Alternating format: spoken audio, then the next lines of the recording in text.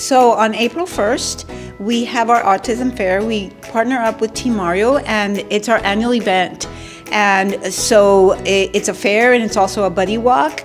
And so it's it's a very important date for us because we want to do this for our community and our students, and we want to spread awareness to our community about children with autism. So so we look forward to our great event uh, every year, and so we're real excited about about April 1st. So we want to invite everybody to come on, come on out to the HEB Park, and so our buddy our um, fair starts at five o'clock and our buddy walk starts at 6 p.m.